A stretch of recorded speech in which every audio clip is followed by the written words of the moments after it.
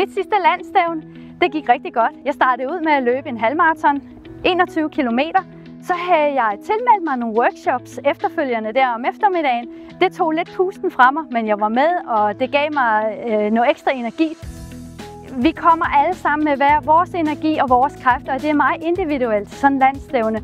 Men på en eller anden måde, så er vi gode til at tage hensyn til hinanden og de øh, kræfter og den energi, man møder ind med. Og det er det, der er så sjovt ved landstævne. Det er, at vi alle kan være med. Det er jo det, der er så rigtig sjovt. Ikke? Altså, det giver glæde, og man, man bliver bare så godt humør.